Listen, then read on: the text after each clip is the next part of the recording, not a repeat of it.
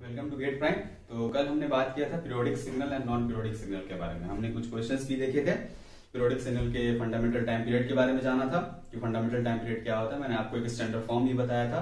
To pi omega naught होती है उसकी फंडामेंटल टाइम पीरियड और मैंने कल आपको लास्ट में ये चीज़ बताया था कि अगर आप कोई दो पीरियोडिक सिग्नल को ऐड करते हो, दो या दो दो या तीन को आप ऐड करते हो तो ऐड करने के बाद जो सिग्नल नया फॉर्म होता है, एक नया फॉर्म में जो सिग्नल आता है, वो सिग्नल पीरियोडिक होगा या नॉन पीरियोडिक होगा, कैसे पता करें?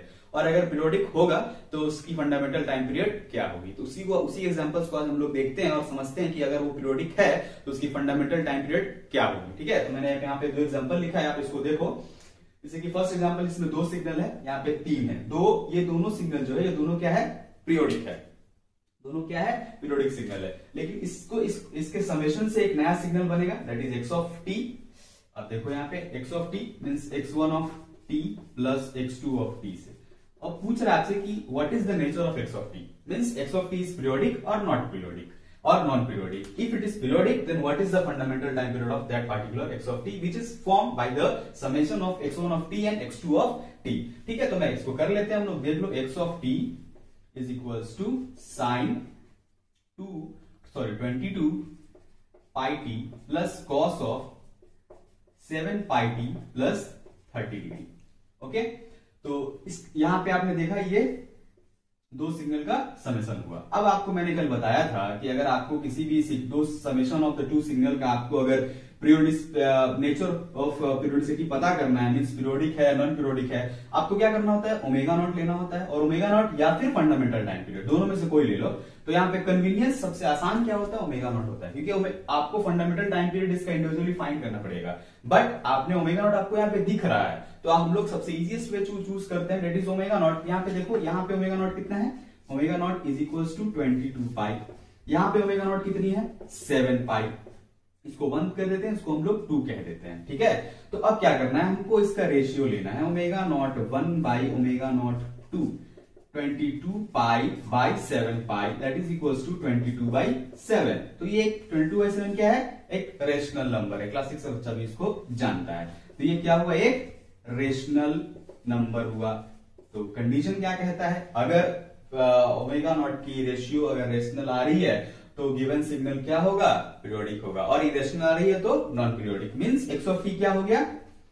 पीरियोडिक अब अगर ये पीरियोडिक है तो उसकी कुछ ना कुछ फंडामेंटल टाइम पीरियड होगी। तो हम लोग फंडामेंटल टाइम पीरियड फाइंड करते हैं। Fundamental time period of any fundamental time period of two signal two signal जो कि समेशन से बना है, ठीक है? उसका रूल क्या होता है कि आपने उस दोनों सिग्नल का, जो जो उसका x of x one of t है एक्स टू ऑफ़ टी है, इसका, इसके ओमेगा नॉट का एस लेना पड़ेगा। आपको एस ले लो आप, ठीक है? एस ले लो, क्या होगा? Twenty pi and seven pi इसकी एस कितनी होती है? पाई होती है, ठीक है? ये भी क्लास सिक्स में पढ़ाया जाता है, ठीक है? तो इसकी एस क्या हो गई?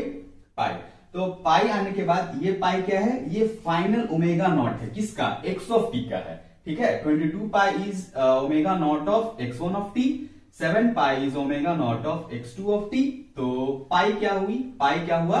पाई जो हुआ, वो एक्स ऑफ़ टी का ओमेगा नॉट हुआ। ठीक है? तो पाई पता चल मुझे क्या ओमेगा नॉट पता चल गया? तो हम लोग फंडामेंटल टाइम पीरियड क्या लिखते हैं? Fundamental time period is equal to two pi by omega naught तो क्या होगा? Two pi by omega naught की वैल्यू कितनी? पाई वैल्यू कितनी होगी? Two means two second is the fundamental time period of the signal x of t तो यहाँ तक कोई प्रॉब्लम नहीं होगा. सेम हम लोग इस क्वेश्चन को भी अप्रोच करेंगे. देखो कैसे करते हैं. यहाँ पे भी एक्स वन ऑफ़ टी है एक्स टू ऑफ़ टी है एक्स थ्री ऑफ़ टी है. आपको क्या करना है? कि आपको इस तीनों का समेशन का जो सिग्नल आएगा, उसका नेचर बताना है. और अगर पीरियोडिक है तो उसका फंडामेंटल टाइम पीरियड बताना है. तो देख लेते हैं ना x of t is equals to कितना होगा? Sine two pi t plus of four cos of five pi t यहाँ माइनस है तो plus minus minus seven cos eight pi t plus forty five degree ठीक है? ये चीज़ समझ में आ गई। तो अब बताओ इसका ओमेगा नॉट कितना? सेम प्रोसेस को रिपीट करेंगे। ओमेगा नॉट कितना? टू पाई इसका कितना? फाइव पाई इसका कितना? एट पाई फोर्टी फाइव है नाइनटी फाइव हो, कुछ भी हो, उससे क्या ही फ़र्क पड़ता है? मुझे किससे मतलब है ओमेगा नॉट से? यहाँ पे अब तीन ओमेगा नॉट है। तो आपको क्या करना पड़ेगा? तीनों को चेक करना पड़ेगा कि तीनों का रेशियो रेशनल आ रहा है या नहीं आ रहा है। मीन्स टू पाई को फाइव पाई से फाइव पाई को एट पाई से या फिर टू पाई को एट पाई से। किसी भी दो को कर लो। सिंपली के लिए तुम क्या कर लो? Two pi by five pi कर लो और दूसरा क्या कर लो? Five pi by eight pi कर लो। कितना हुआ? Two by five and five by eight दोनों ही रेशनल है। मीन्स ये जो सिग्नल है एक्स ऑफ़ टी ये क्या है? पीरियोडिक है। तो रेशनल आया ओमेगा नॉट का रेशियो तो क्या होगा? दोनों सिग्नल क्या है? पीरियोडिक है। तो पीरियोडिक है तो फंडामेंटल टाइम पीरियड क्या होगी? तो अपना ओमेगा नॉट फाइंड कर ओमेगा नॉट के लिए क्या करते हैं हम लोग? C F of all the omega naught omega naught of the signal means omega naught one omega naught two omega naught three means two pi five pi eight pi तीनों की omega naught की जो value होगी S निकालोगे, ये भी पाई होगा, ये भी क्लास सिक्स में पढ़ाया जाता है। ठीक है? उसके बाद हम लोग देख लेते हैं कि फंडामेंटल टाइम पीरियड क्या होगी। आपको पता है टी नॉट की वैल्यू फॉर्मूला क्या होता है? Two pi by omega naught two pi by pi value कितनी? टू सेकेंड कुछ भी नहीं है इसमें। नो कोई रॉकेट साइंस ही नहीं है। नहीं कुछ ज़्यादा इसमें दिमाग लगाना है तो काफ़ी इजी है आपको समझने के लिए, ठीक है? तो यहाँ तक मेरा periodic and non periodic signal का ऑलमोस्ट सारा कॉन्सेप्ट खत्म होता है। इसके बाद हम लोग क्या करेंगे? डीसी सिग्नल और कांस्टेंट वैल्यू सिग्नल को थोड़ा देख लेते हैं। इसका ज़रूरत पड़ेगा आगे आने वाले फोर ईयर सीरीज़ में, ठीक है? तो इसका थोड़ा सा इंपॉर्टेंस है, इसको आप थोड़ा देख लो। डीसी सिग्नल और कांस्टेंट वैल्यू सिग्नल क्या होता है? ये देखो, यहाँ एक्स ऑफ़ टी है और ये क्या है? इसकी वैल्यू क्या है? कॉन्स्टेंटली एक्स एक्सिस के पैरल में जा रही है। ठीक है, इसकी वैल्यू कितनी हुई? ए नॉट ठीक है, इसको हम लोग कहते हैं डीसी सिग्नल या कॉन्स्टेंट वैल्यू सिग्नल ये मैं अभी पीरियोडिक के बाद इसलिए बता रहा हूँ क्योंकि मुझे इसकी पीरियोडिसिटी के बारे में जानना है, ठीक है? तो एक्चुअली में ये सिग्नल क्या होता है? पीरियोडिक होता है। यहाँ कुछ रिपीट भी नहीं कर रिपीट आपको देखने में तो नहीं लग रहा है कि पीरियोडिक है, क्योंकि पीरियोडिक अगर होता तो दिखता है कि वो कुछ इंटरवल ऑफ़ टाइम के बाद अपने आप को रिपीट करता है। बट यहाँ पे ऐसा कुछ हो नहीं रहा है but it is periodic signal लेकिन एक चीज़ इसमें एक्सेप्शन है that is fundamental time period of DC signal या फिर कांस्टेंट वैल्यू सिग्नल की जो फंडामेंटल टाइम पीरियड होती है, वो क्या होती है? अनडिफाइंड होती है। अनडिफाइंड होती है। अनडिफाइंड क्यों होती है भाई? तो देखो अनडिफाइंड इसलिए होती है कि देखो, या इसकी जो फंडामेंटल टाइम पीरियड है, वो ज़ीरो से बड़ी तो है बट वन से बहुत ही कम है।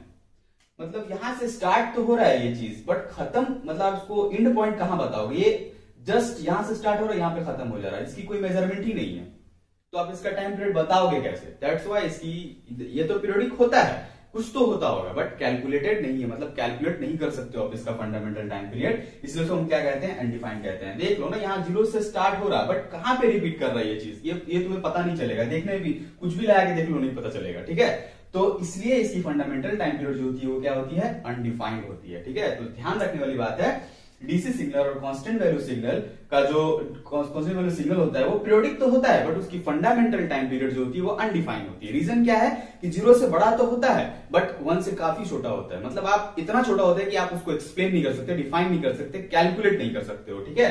तो ये पॉइंट इंपॉर्टेंट है कि FTP of periodic signal FTP of DC signal is undefined ठीक है?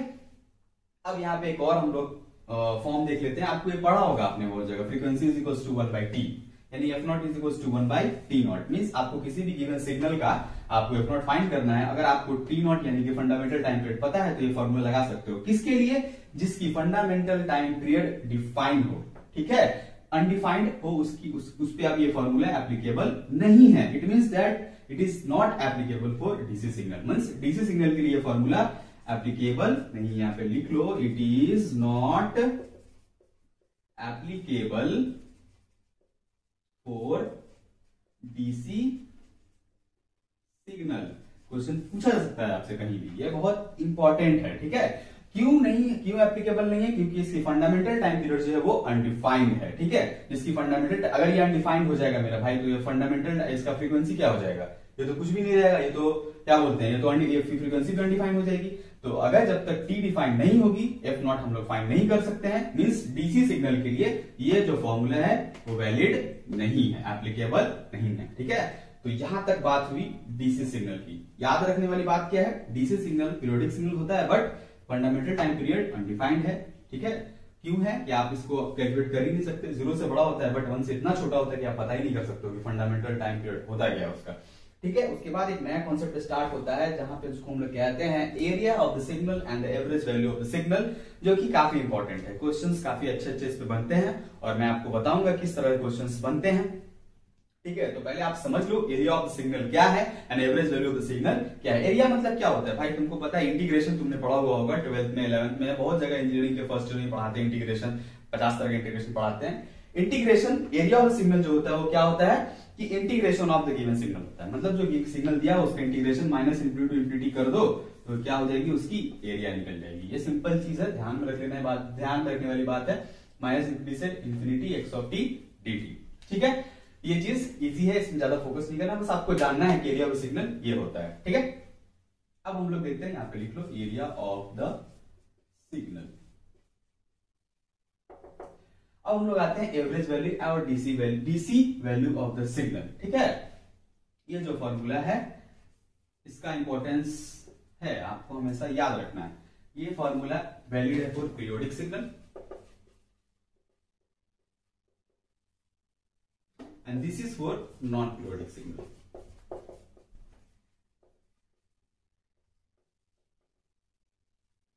मतलब क्या है कि एवरेज वैल्यू हम लोग दोनों का निकाल सकते हैं। पीरियोडिक सिग्नल का भी और नॉन पीरियोडिक सिग्नल का भी। ठीक है तो आपको ध्यान रखना है फॉर्मूला क्या होता है। Average value of the signal क्या होता है? वन बाई टी नॉट जो कि टी नॉट क्या है? फंडामेंटल टाइम पीरियड है। क्योंकि फंडामेंटल टाइम पीरियड हुआ क्योंकि ये ये पीरियोडिक सिग्नल के लिए है। तो टी नॉट क्या होगी? F T P X of T D T को इंटीग्रेट कर देना है। कहाँ से कहाँ तक? भाई तो कोई भी एक लिमिट ले लो ज़ीरो से टी तक या माइनस टी बाई टू से लेकर टी बाई टू तक। कुछ भी ले सकते हो आप।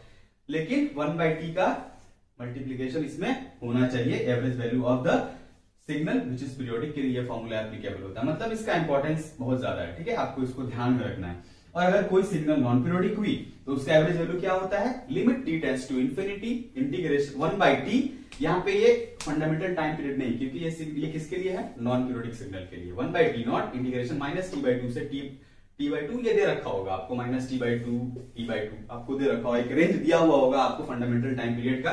और उसको एक्स ऑफ़ टी से इंटीग्रेट कर दो.